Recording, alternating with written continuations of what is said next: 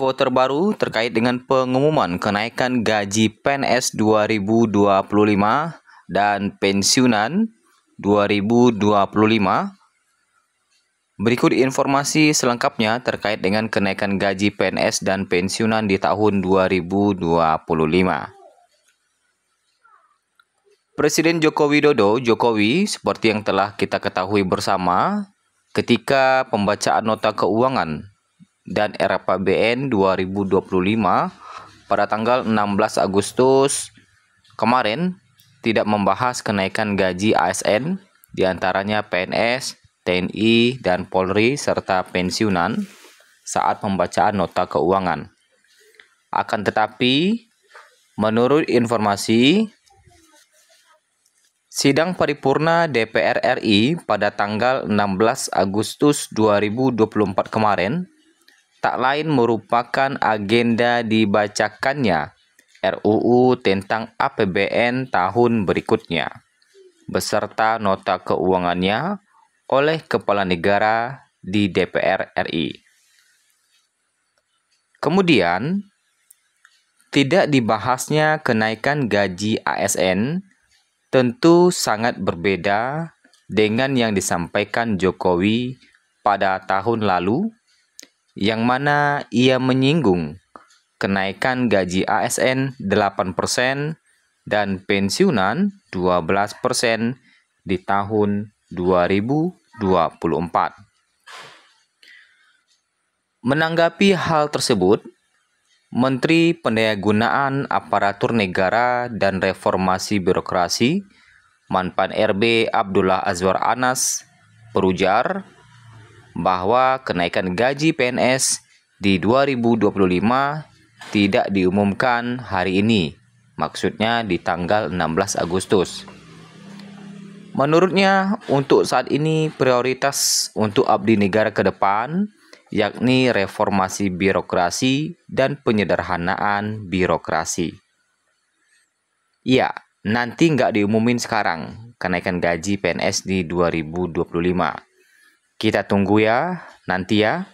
Tapi kan tadi prioritasnya reformasi birokrasi, penyederhanaan birokrasi. Jelas Azwar Anas saat di gedung DPR MPR, Jakarta pada Jumat 16 Agustus lalu.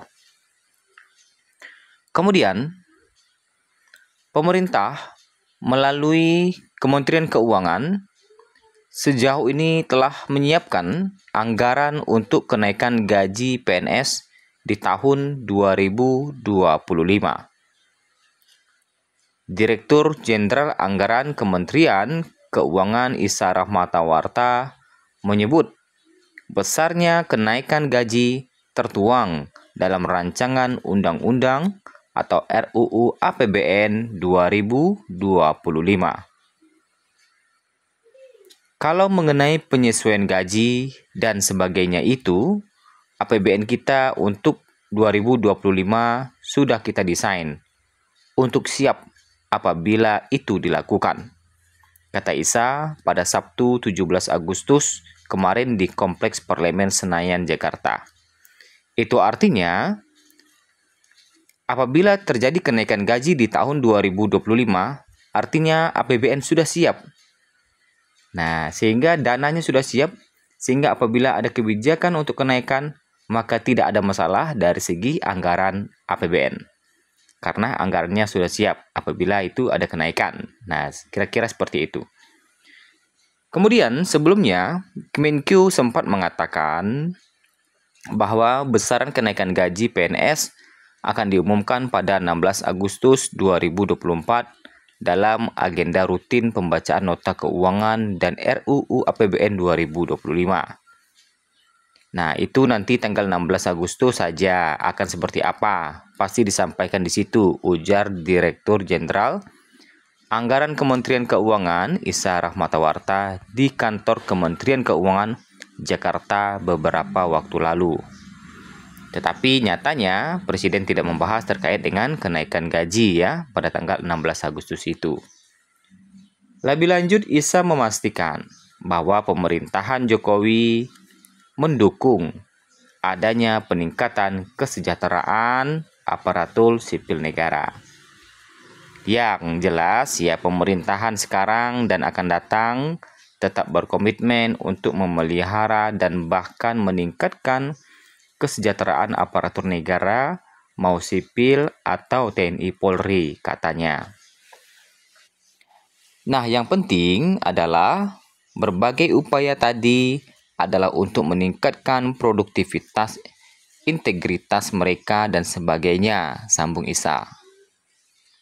Nah, menyambung kabar tersebut, Menteri Perencanaan Pembangunan Nasional, Kepala Badan Perencanaan Pembangunan Nasional (PPN) atau Bapenas, Soeharto Monoarfa memberikan bocoran soal kenaikan gaji PNS di tahun depan. Soeharto memastikan gaji PNS akan naik secara bertahap, khususnya bagi aparatur sipil negara yang bergerak di bidang pendidikan, kesehatan, termasuk TNI Polri. Kenaikan gaji ASN terutama guru, dosen, nakes atau tenaga kesehatan, penyuluh, TNI atau Polri akan naik secara bertahap, ujar Suarso dalam konferensi pers nota keuangan 2025 di kantor pusat DJP Jakarta pada Jumat 16 Agustus 2024. Namun, ia belum bisa memastikan putusan apakah gaji PNS 2025 jadi naik atau tidak karena menjadi ranah Prabowo Subianto.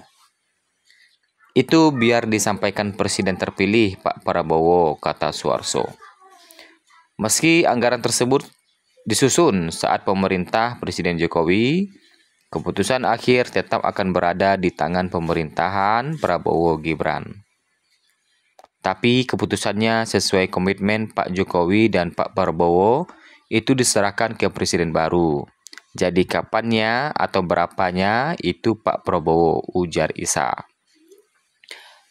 Nah, berdasarkan informasi terbaru di tanggal 20 Agustus hari ini ya, Selasa 20 Agustus 2024 terkait dengan pengumuman atau jadwal pengumuman kenaikan gaji untuk PNS di tahun 2025 ataupun pensiunan belum ada sampai pada pukul 12 lewat 24 waktu Indonesia Barat ini belum ada informasi terbarunya baru ini yang bisa kita sampaikan terkait dengan jadwal pengumumannya belum ada informasi terbarunya kapan akan disampaikan.